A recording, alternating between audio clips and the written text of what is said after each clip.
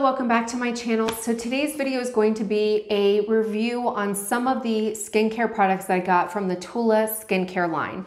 So I haven't tried everything. There is, there are still more products that I'm like intrigued, I wanna try, but I have tried a good variety. So I wanted to go ahead and do this video, let you guys know what my thoughts are. Before I get in, I wanna let you know what my skincare or my skin type is.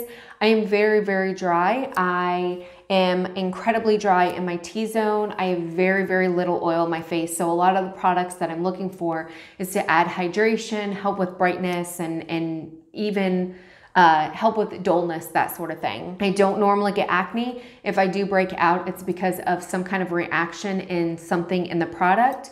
I don't really have an even skin tone. I do battle eye, dark eye circles and puffiness, but that's pretty much it. So those are the type of things with my skin. It's really the redness um, and dryness that causes the redness maybe. I don't know. It's just this never ending cycle of dryness and redness, but that is my skin type. So when I'm doing these products, that is what I'm going off of, of is what did it work for my skin type? So let's go ahead and get into it. So the first product is the Super Calm Gentle Milk Cleanser. This is retails for $34 at Ulta. And the reason why I picked this one up because it was supposed to, it says it removes your makeup and cleanses your skin without any harshness or irritation. Skin is left feeling soft and conditioned, never dry or tight. And that intrigued me because I do have dry skin. I was looking for something that didn't strip away whatever oil I did have on my skin and helped, you know, take off my makeup. I went ahead and used this whole thing and it's completely gone. The problem I have with this is I felt like it was too gentle and not gentle because of the irritation, but it didn't really do a good job of taking off my makeup to me, I felt like this is a great product if you're looking to double cleanse. Like I love the Colleen Rothschild um, balm, the cleansing balm, radiant cleansing balm. And a lot of times I will use that first and then use another product after it. This by itself just doesn't take your makeup off. So though it was great for the irritation and the redness and all that stuff, I just didn't feel, I felt like I had to use another product to take my makeup off. So I personally didn't like this. If you're somebody who doesn't wear makeup or doesn't wear a lot of makeup and you are just looking for a really good cleanser that just really hydrates your skin, doesn't strip it, but you're not really looking for like makeup. Like if it was the days where I don't wear makeup on the weekends and stuff like that, this would be awesome. But the reality is I wear makeup almost every day and it just didn't take it off the way that it didn't clean it the way that I needed it to be clean and really get into the pores and get all the gook out of it. It just didn't do it for me. So the next product is the Cult Classic Purifying Face Cleanser. So I got this in the tra travel version. It retails for $10 at Ulta. The bigger version retails for $28. And what this says is it's a probiotic gel cleanser that goes deep into pores to remove impurities without stripping or over drying skin. It's got probiotics and superfoods in it that help balance and radiant. It leaves skin looking glowing and prime for the rest of the day. So what intrigued me about this was when I tried the Gentle, I felt like it was too light. And with this one, I was like, okay, it says it's not going to strip my skin and I absolutely love it. I have used up this whole little travel thing. So it's taken me about a month to use it. It does, a little bit does go a long way. It does lather, so you get that kind of lather sensation but I felt like it did a really good job of cleansing my skin so I didn't have to do two different cleansing methods, but it also didn't strip it. When I got out of the shower, I didn't feel that tightness where I had to run to go put moisturizer on. I felt like it gave me that really good balance of taking off my makeup, but then also not stripping my skin. So highly would recommend this one. Um, I am going out to, out to Ulta today to actually purchase another one because I am out. So definitely recommend it definitely will be repurchasing it. So next is the Self Care Sunday Nourishing Face Mask. So this retails for $48 at Ulta. It says that it's deeply hydrating. It quick nourishing face mask. It doubles as an overnight treatment. It gives new light to, life to even the most parched, dull, and distressed skin. It's got probiotics, lactic acid, vitamin C. It's supposed to leave your skin renewed, bright, and soft. It's excellent for post-travel. It's supposed to help with that. So obviously it has all the great bu buzzwords that I'm looking for in a product. I have very, very parched, dehydrated skin. And so I really, really like this. Now, obviously it's called Self-Care Sunday. You don't have to do it just one time a week. It does say, let me see. It doesn't say how many times to do it. It says apply two to three pumps on clean, dry skin and leave on for 10 minutes. Um, here on here, it doesn't say anything about leaving it overnight, but on the description on the website, it does say that it doubles as an overnight treatment. I've never actually put it, left it on my skin, but I've been doing this a couple days a week. I really, really like it. Definitely, it is $48.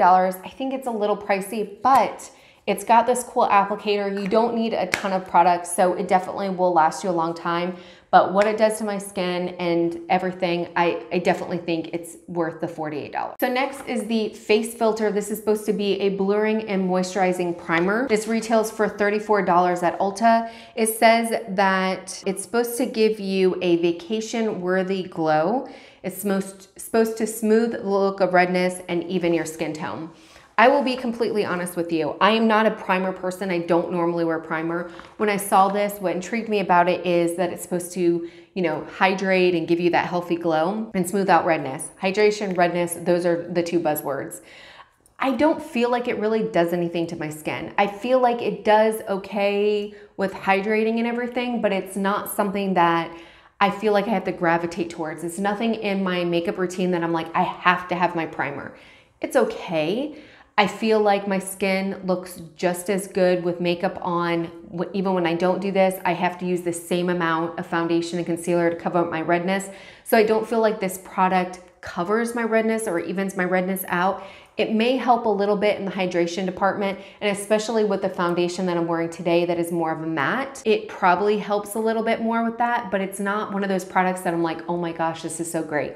It's okay it's okay. So last but not least is the Rose Glow and Get It. This is supposed to be a cooling and brightening eye balm.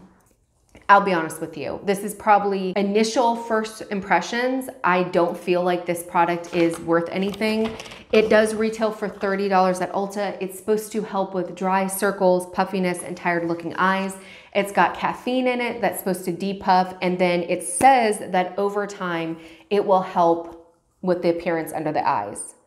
It has, I mean, you can see the glow there. I mean, it def definitely has a sheen and stuff like that. There is a cooling effect. So to me, I feel like this would probably be good in the summertime just because, you know, you're hot and, you know, hey, let's put some cooling stuff under the eyes that will feel good. But in the wintertime, eh, it's a little bit.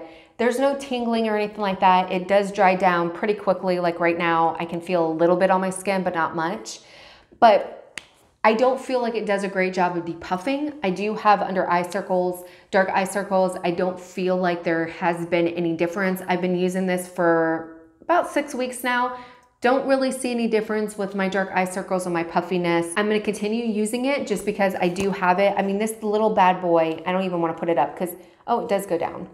Um, this little bad boy will last you a long time. So even though it retails for $30, it, I mean, that's definitely worth it because there is a lot of product. I just don't know after six weeks of using it if I can even recommend it. So it could be one of those products because skincare, scare, skincare is kind of like that where you know, you just don't know until after a couple months, or you just don't know until after you stop using it and you're like, what's wrong with my face? And then you're like, oh, it did work. So I'm gonna continue playing with this right now after six weeks. I don't really see any difference, but definitely I will continue using it and maybe I'll stop using it and see if that does anything. I'll provide update um, an update in the notes. So if you're looking at this, several months from now. Hopefully, I have an update and I'll let you guys know whether or not I feel like it's something to be purchased. But definitely, if you've tried any of these products, this one specifically, leave your comments below. Let me know. Maybe it does start kicking in after two months, or maybe you had a similar situation where you stopped using it and then you're like, oh my gosh, this really does work. I don't know. But overall, I do have to say, I'm really impressed with the Tula skincare line. Um, like I mentioned before, there are a lot of other products that I have seen that I've kind of added to my wish list as I'm working through my old skincare products. I want to start incorporating other things in. If you tried any other of the Tula products and you would definitely recommend them, especially for somebody like me who has dry and red skin, please leave it below. I would love, love, love to know what your thoughts are of what other ones are good to try out. Hopefully you guys enjoyed this video. Until next time, bye.